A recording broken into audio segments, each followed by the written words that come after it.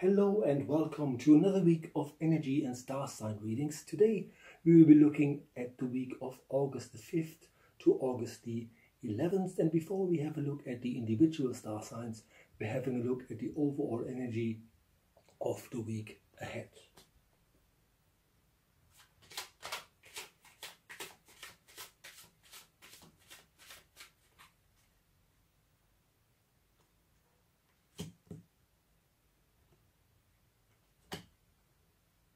So the overall energy for all of us this week is to actually step back from everything.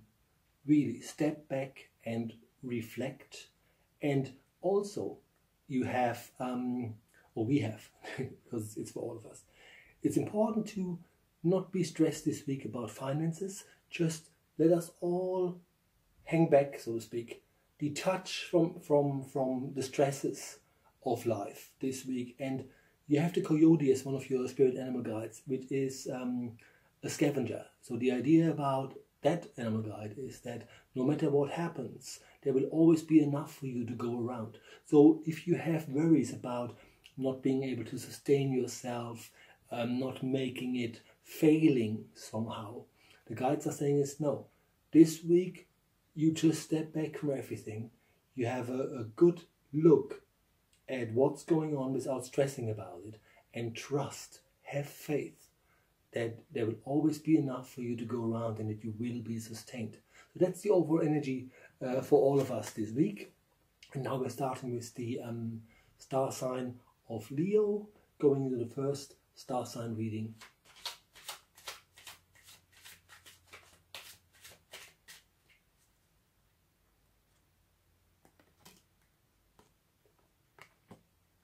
For Leos, it's quite eager, uh, quite eager, quite quite easy. This week feels simple because opportunities and answers will come to you. Really, really important. You can be quiet, you can be steadfast, you can trust that things will work because they will work. Um, and you see opportunities, not only do opportunities come to you, but you also see them coming. In other words, whatever life throws at you, you can instantly, instantaneously get a get an idea. This sounds right. This one doesn't feel quite so good to me, and then really trust your intuition, and um, you will be fine. It's really short and sweet uh, for for Leo this week, and then now we're going into Virgo.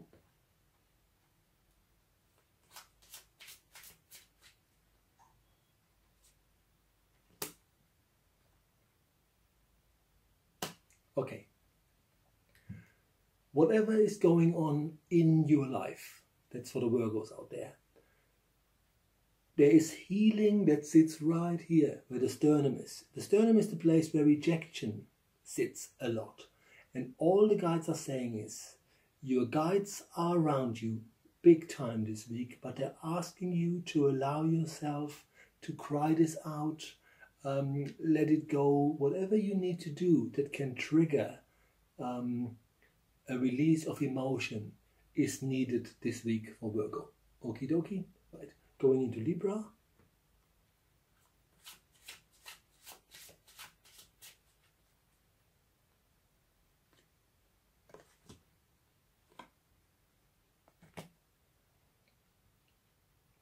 Libras, if you are yourself this week, if you are truly following who you are and truly um, taking into account what, what you want to do with your life, um, you will be fully protected, right? So if you are in a situation where you feel like this isn't quite me, this doesn't quite make sense, you know, I have to do all that shit, um, but it doesn't bring me any happiness. Well, what the guides are saying is assess, reflect, um, about or, or, or, about the things that you really feel are you, and then um, manifest them and put them into action. Because what the guides are saying is, uh, once you're also honest about it, that you know wherever you are in life, and it might not actually just be work related, could also be relationship related. As long as you're honest about it, a solution can be found, and you will be safe because you have the, one of the animal guides that you have here is the spider. So, in your web of life, where you decide how many space, how much space, and how much time you give people, all the guides are saying is figure out if you are happy where you are. If not, trust that things will get will get better. Manifest that, and you will be perfectly fine. Okay, that was Libra going into Scorpio.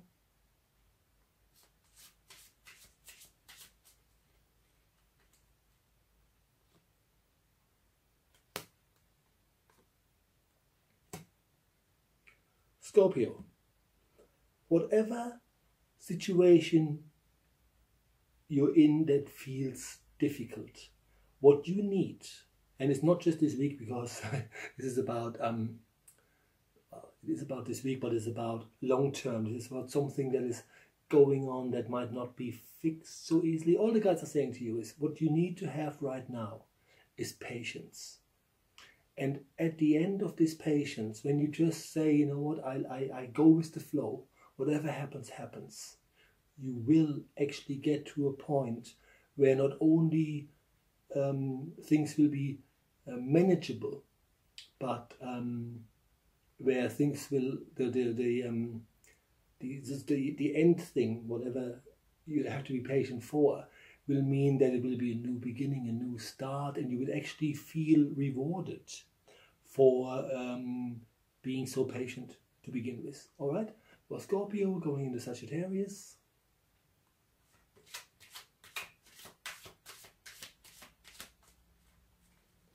Here we go.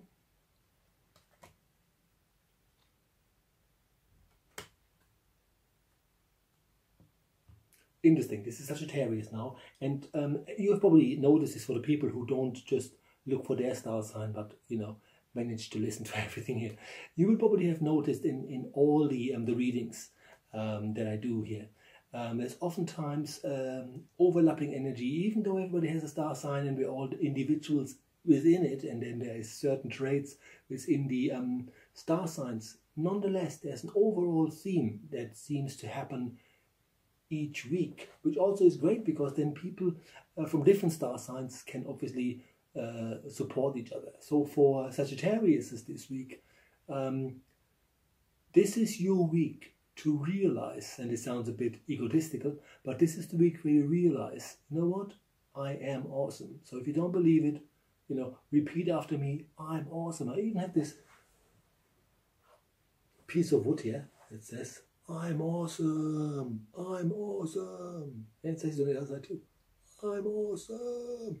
So if you struggle, say to yourself, I'm awesome. So this is the week for you to realize that you are awesome. And that doesn't mean you're egotistic about it and you think you're the best thing since sliced bread. But if you start to um, trust and believe that you are actually a good person and that sometimes, you know, it's, it's reality, bad things happen to good people. You know, when the shit hits the fan, you might just be in front of it, if that makes sense. These things happen. And sometimes, uh, oftentimes, it's just nobody, it's just not your fault, if that makes sense. All the guides are saying is for um, Sagittarius this week is to remember that you're awesome. Use it as a mantra. I'm awesome. I'm awesome. Which is which translates into I can do this. I can absolutely do this. I can get through everything. And that's what they're basically asking you is to um, be affirmative um, in positivity and you will get through that. Okay? That was Sagittarius going into Capricorn. Drawing to the deck over here.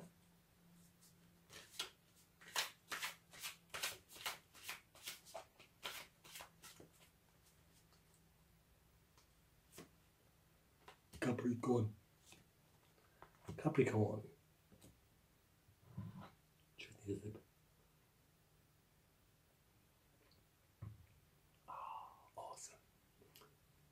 I love coffee. Anyway, where were we?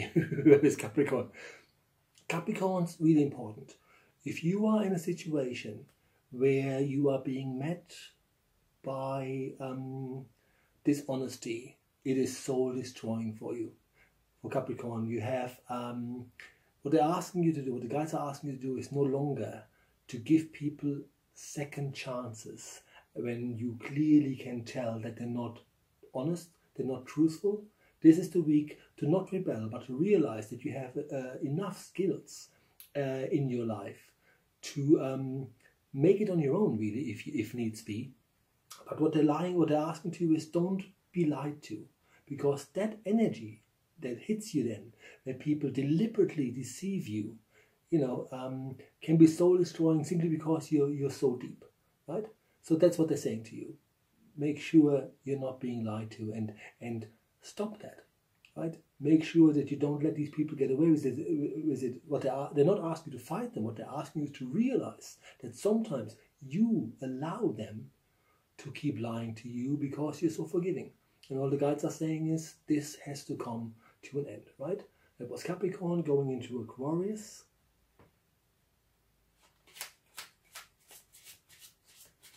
Aquarius, and obviously remember we're looking at the week of August the 5th to the 11th, 2019. And here we are, Aquarius. Okay, your guides are trying to reach you. Right? Even if you are someone who does a lot of meditation, calming techniques, um, energetically speaking, for Aquariuses, a lot of you out there who are Aquariuses are preoccupied with stuff. Could be work related, just normal day to day activity and stress. And um, so, in other words, what the guides are saying is your guides, your own guides, are actually trying to reach you in your dreams. It is oftentimes um, very difficult to remember dreams because we're moving to a different um, uh, frequency of our brain, like a brain pattern that that that um, uh, changes to what is called beta waves, which means we don't retain that much energy uh, uh and, and, that much memory. Sorry, uh, the next day. Here's how how you can um, not fix this, but help it. Um, you you take a piece of paper which becomes your dream journal, and you promise yourself that when I get up in the morning, the first thing I remember about my dream, I'm going to write down, even if it is just a phrase or an image and you write that down and you do this for about seven days and then look what you've written and over time you can see a pattern. And this pattern obviously is a message. All the guides are saying is they have difficulties reaching you because you're you're preoccupied. You also um, need to well i say need to uh, it's not meant like this. You have free will. But what the guide's asking you to do is if you um, negotiate through life um, don't get annoyed, don't get angry, um, don't get upset. Use what is what I would refer to uh, uh, as tongue in cheek. So what you do is you speak your truth, but in a way that is uh, that feels light-hearted, and that feels it's alright to talk about it because the way you bring it up is not threatening to whoever you talk to. And remember, people who are very narcissistic and um, you know think uh, they can do whatever the heck they want. Um, obviously, get threatened easily. So if you are in a situation that needs changing um, and you want to address it, address it with tongue in cheek, address it lightheartedly, um, rather than than confrontational. Okay, really, really important. Um, so there was Aquarius going into Pisces. My star sign.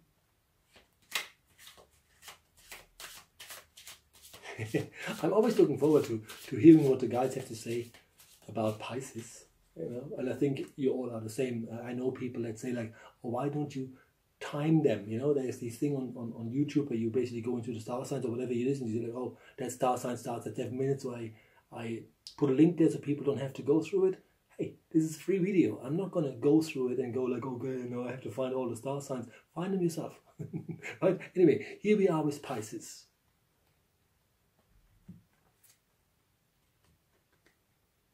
Interesting.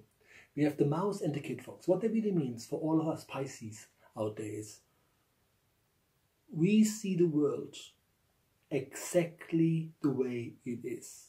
It's very difficult for people to fool us for for a long time, if that makes sense. So if Pisces, you have a perception of a situation, trust your intuition because the way you perceive it, the way you get it, that's that's the way it is. We will this week feel a little bit um, boxed in. We will feel a bit, little bit restricted in what we can do. So high energies, energy wise, it's not going to be a high energy week for Pisces. So, um, and all they're saying is, right, you see the world for exactly as it is. So just this week, because your energy isn't so high, um, just reflect on it. In other words, um, we are quite vulnerable still, and um, and the feeling that I get, uh, and it's probably probably because I am a Pisces, is that this vulnerability, this feeling, I've had I've had enough. I'm just not um, recovering from from things. Will stay with us probably for the rest of the month because the energy I get for Pisces, being one uh, myself, is that, um, and this is just the energy the guides are giving me, um, things will actually get better starting in September. Right? That doesn't mean August is going to be a shitty month. All I'm saying is, right, uh, don't expect things to go like yeah and stuff. That's all they're saying is right. So trust that the way you see the world or or situations that come to you is exactly the way they are. Right? Okay, that was Pisces going into Aries.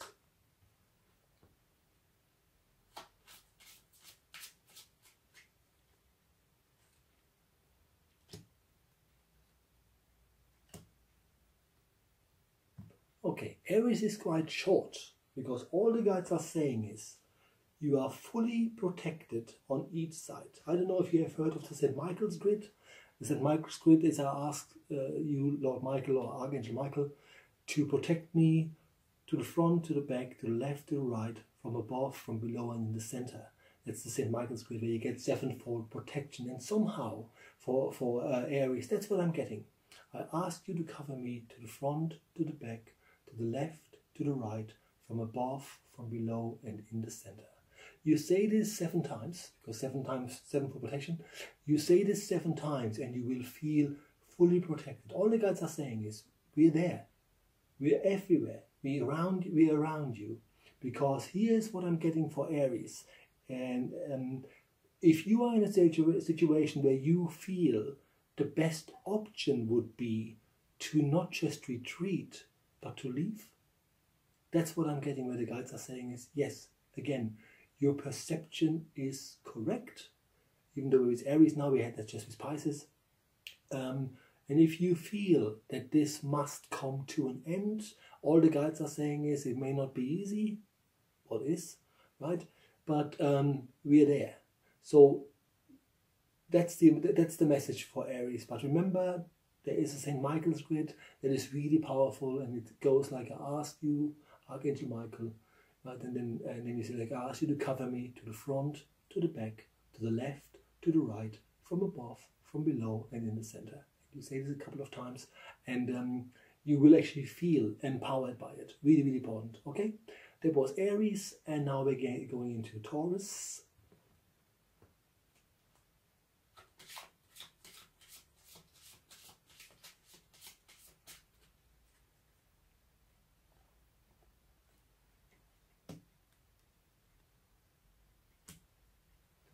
Tauruses. Um, how can I phrase this best? You have the bear and the elephant. The bear is all about femininity. It's all about your softer side. If you're a bloke, you know, really, what it really means is that that whatever sits inside you that hasn't been shifted um, is about to shift. If that makes sense. So this might not be the easiest of weeks for uh, for Tauruses. But what they're saying to you is one of the problems that you have um, is that you remember everything. And therefore, uh, most Tauruses, at least this week, will probably have a problem with trust, right? You, you remember stuff, so you're trying to protect yourself from this happening again, whatever this is. And all the guides are saying is sometimes um, you overthinking, you expecting the worst, can actually make that happen, if that makes sense. So, in other words, heal, right? Be kind to yourself, be gentle, be be in your softer, be softer this week, right? Though there's no point arguing with people because sometimes people argue uh, because that's the only thing they can do well, if that makes sense. And don't don't give them the ammunition they need, right? Really, really important. And and and as you reflect on, on, on yourself. And as you go into your softer side for Tauruses, it's important to remember that even though trust uh, uh, has to be earned, that's absolutely true. What the guides are saying is you overthinking, uh, trying to protect yourself from certain things might not work. Um, so so remanifest. Um, remember, you you you um, you uh, attract on your energy. When your energy is doubtful, um, oftentimes you get uh, people sent that uh, trigger this until you realize, you know what, fuck it. you know, uh, I have other options here, and I will make sure that I'm not going to end up in that same situation ever again, which again then triggers healing, right? So that's really what this is for Tauruses this week. Going into Gemini, and we're almost done. We have Gemini and then Cancer, and that's the um, energy done for the week. Energy and star sign reading. I asked you all to please share this widely. You know, there's no point me recording all this and then nobody bothers to share it. Really, really important. And I'm really grateful because oftentimes people share it and then people from the other side of the of, of, of the earth uh, contact me and, and, and, and say thank you for that mini reading uh, because it did help them. And that's what, you know, a, a free reading or mini reading as I call them is about, right? So we're going into Gemini.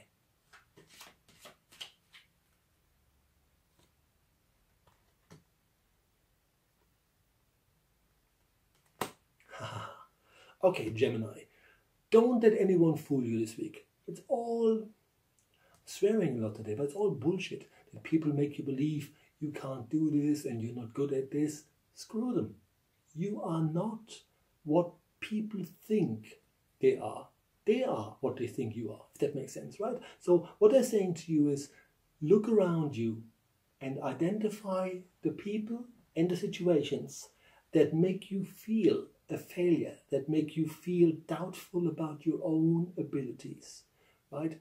And then either let them go or put boundaries in place because that's really what is needed this week is for you to to um to really to state that you you've had enough of um, being um, looked at it looked at as, as a failure or or um, when people make you feel as if you are a failure. You know, sometimes when people say that long enough, you actually believe it. All the guides are saying is remember one thing you have a lot of stamina, you have a lot of strengths too. And so, um, if you look at your inner strengths and your own strengths, it doesn't matter what people say to you, right? You're not what they say you are, right? Okay, that's just Gemini, last star sign uh, for the week is Cancer.